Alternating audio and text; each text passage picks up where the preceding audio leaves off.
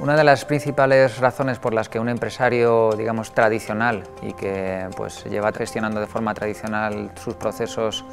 debería de plantearse evolucionarlos al entorno digital, fundamentalmente lo resumiría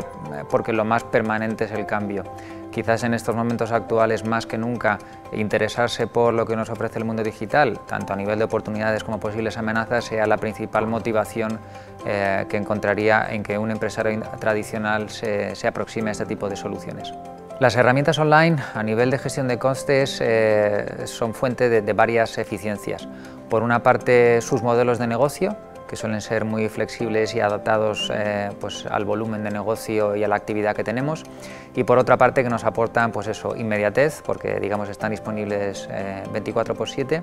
y mucha fiabilidad dado que son muy específicas normalmente del sector en el que trabajamos. La gestión de la empresa al final hay que optimizarla y en este caso estas herramientas online van muy enfocadas a eh, hacer más eficientes los procesos, ya no solo en la reducción de los recursos asociados a los mismos, sino también en este caso a que sean más fiables para que toda la cadena de valor sea mucho más eficiente. Uno de los principales elementos de las herramientas online es que nos pueden ayudar a identificar costes excesivos. ¿Cómo lo hacen? Básicamente, si arrancamos de la frase de lo que no se puede medir, no se puede gestionar, estas herramientas como regla general parten de indicadores clave eh, que nos permiten establecer un diagnóstico del punto de partida en el que estamos y a partir de ahí poder establecer mediciones de cómo hacer más eficiente nuestra estructura de costes. Eh, normalmente los, proyectos eh, suelen tener una, digamos, una estructura de costes en lo que se llaman los modelos de, basados en actividad, el ABC, el Activity Based Costing.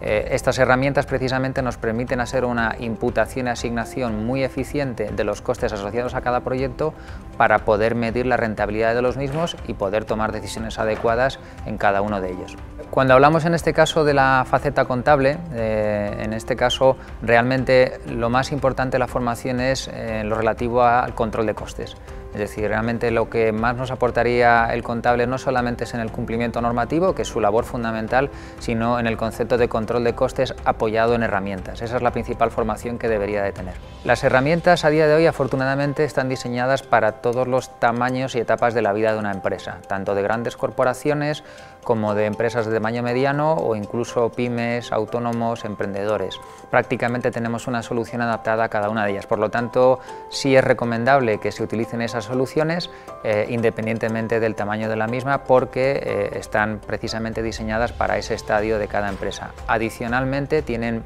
eh, formatos en los que muchas tienen módulos o partes gratuitas, lo cual hace que el nivel de acceso todavía sea mucho más sencillo. A nivel de control de costes existen múltiples aplicaciones online, algunas muy verticales, especializadas en, por ejemplo, gastos de viaje, eh, otras más eh, horizontales a nivel de planificación financiera. Eh, la recomendación que os hago en este caso es que en función del sector en el que estéis, el número de usuarios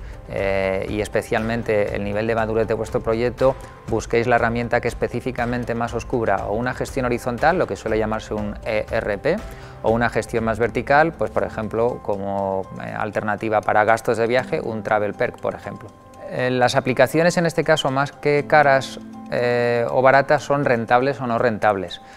¿Cómo identificar en ese punto en el que una aplicación tiene sentido para nosotros? evidentemente os lo va a dar el punto en el que las funcionalidades que incorporen, en este caso, un modelo de pago de la aplicación,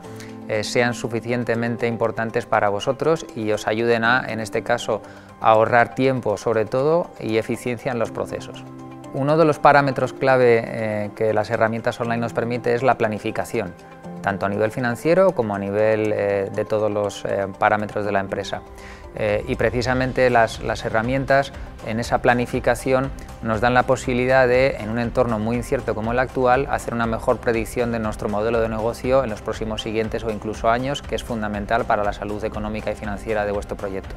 Efectivamente, otra variable clave eh, que os debería de aportar una herramienta online es la capacidad de diagnóstico. La capacidad de diagnóstico parte precisamente de que estas herramientas os faciliten determinar los indicadores clave de vuestra actividad como punto de partida para saber si efectivamente tenéis una situación saludable o no y a partir de ella empezar a tomar decisiones más formadas.